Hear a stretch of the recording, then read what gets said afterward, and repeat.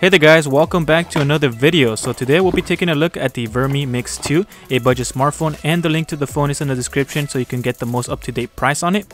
Alright, so let's jump right in. So here we have the packaging, a very simple box and inside rests the phone. It's very heavy but it feels nice on the hand. Both the back and the front have glass so you will have to be careful with it so you don't end up shattering it on both ends. Moving on, inside the box you also get a European power brick, so this won't work for me, but luckily I have a couple Qualcomm quick chargers laying around, so I should be set with getting the fastest charging speed on this phone possible. The charger outputs 12 volts at 1.5 amps and 9 volts at 2 amps, so it's just Qualcomm Quick Charge 2.0. It comes with a micro USB cable to charge the phone. You also get two screen protector films, one is for the screen and the other for the glass back. I failed miserably when I tried to put the one for the back, so I didn't bother with the front. It also includes a silicone clear case to keep your phone protected, which has some extra thickness on the corners. This is great because there are no cases for this phone that I can find online. The phone's build quality looks great and feels solid overall, but the back gets easily scratched so I would recommend keeping the case on. I got some scratches and don't even know from what. There are subtle chamfers around the side of the phone where the frame of the phone meets the front and rear glass. The phone is featuring a 6-inch 2160x1080p LCD display, so you have a 18 to 9 aspect ratio, giving you a taller screen that many flagships are going with like Samsung, LG and Google for example. The screen looks great and its viewing angles are also good, the screen is bright enough to see outdoors, but at night I find it a bit too bright even with the night mode turned on and the screen lowered all the way, but downloading a screen dimmer app will help with that. The side bezels and top bezels are thin, but the bottom chin is huge. The design resembles the Xiaomi Mix 2, and the funny thing is that when I logged into this phone, Google recognized the device as being the Xiaomi Mix 2 and Snapchat did that too. The phone is a bit thick measuring at 7.6mm, which is a bit thick in today's smartphones. The OnePlus 5 in comparison is 7.25mm thick, but this thickness is not an issue for me. It's a good thing because they are able to put in a bigger battery in there. I can hold the phone and use it with one hand quite well and I can reach the fingerprint scanner easily which is well placed.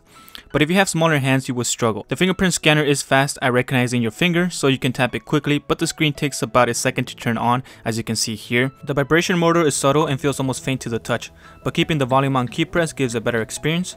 The Vernee has a bottom mono-firing speaker. The speaker grill on the left here is just for looks. You can cover it up and nothing happens.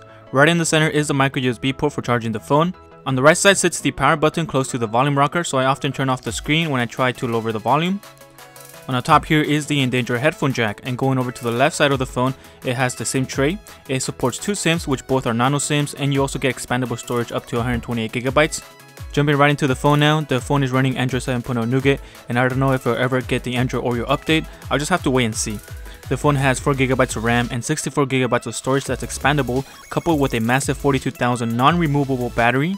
It has the stock Android interface. There are not many features on this phone. There is no double tap to wake or off-screen gestures. You can take screenshots by swiping three fingers up or down on the display. You can also swap the back and recent buttons. It came with the back button on the right side just like Samsung's phone have it, but I switched mine because I'm more used to having the back button on the left side.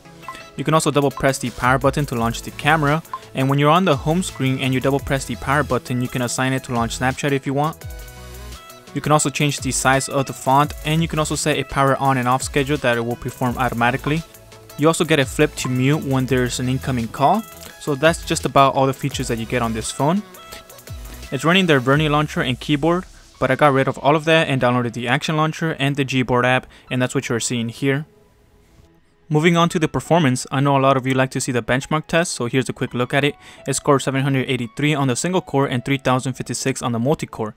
The phone handled all the games that I played on it, which weren't much. Gaming was smooth, I only encountered a bit of a hiccup when I was getting surrounded by a ton of zombies.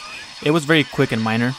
The phone only got a bit warm after playing for 30 minutes on it, all the games I played fit the screen entirely, which looked very nice.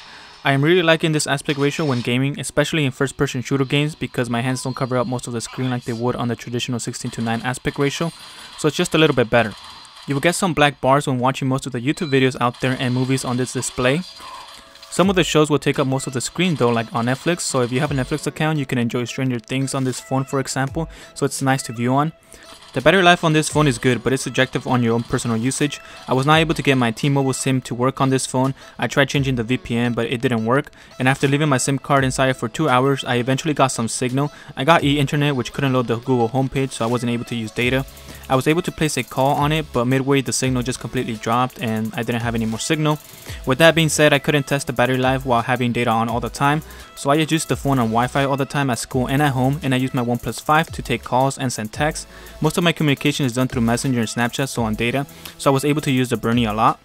So I ended up getting about 4 hours of on-screen time while gaming and watching videos. On a lighter day, I got around 4 hours and 40 minutes of on-screen time. That's with Bluetooth turned on, GPS, and Wi-Fi all day. And I just keep them on for convenience. So yeah, that's just my usage right there. So charging takes about 2 hours and 15 minutes. And when quick charging, it doesn't tell you that it's quick charging on the display at all. It just says charging. So just something to note there. Alright, we're getting to the end of the video, so let's go ahead and take a look at the camera. On the back here, it has a dual camera setup. The main one is a 13 megapixel shooter with an f2.0 aperture and the other is a 5 megapixel one. The 5 megapixel camera is not a telephoto lens, so when you click on the 2 times zoom, it will do digital zoom. The front camera has an 8 megapixel sensor and it's positioned at the bottom here which gives you a weird angle when you're taking selfies, but you can flip the phone upside down and take a picture and it will automatically rotate it. The main camera is a decent camera. The shutter speed is somewhat slow if you're trying to take pictures quickly. More often than not, you will get some blurry pictures. If you hold the camera still for a second, then you will find that the picture quality is good. The quality is a bit flat, but that's nothing some quick editing can't fix. And you also get a couple of filters to choose from and I like this Blackboard one which I took a few pictures with and I think it looks cool. It also has face beauty which gives your photos a pinkish reddish glow to it. Then there is the blur effect which doesn't give you the bokeh effect. It blurs around a circle as you can see on the picture here. Uh, when I put my finger on the secondary camera it senses that it's being blocked so that camera is working. It also has a monochromatic option so you can take some nice black and white pictures. It also has a panorama and pro option for some manual control. You also get other controls like self-timer and face detection. The video quality is also good, it can shoot 1080p. There's a lot of noise in low light, but during the day the videos turn out good. For under $200, I think this is a good phone and it makes a great budget option. So if you have any questions and comments, feel free to drop them down below and I will get back to you as soon as possible and I'll talk to you guys on the next one.